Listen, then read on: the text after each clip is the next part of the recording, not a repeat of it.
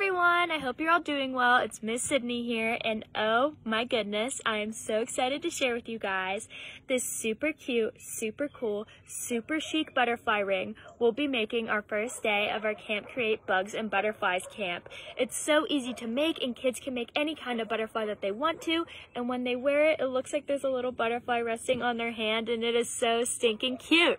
So if you're interested in our Bugs and Butterflies camp or any other of our Camp Create or Camp Create Junior just click the link in the description. I'm so excited to see our new and returning campers this summer. See you guys!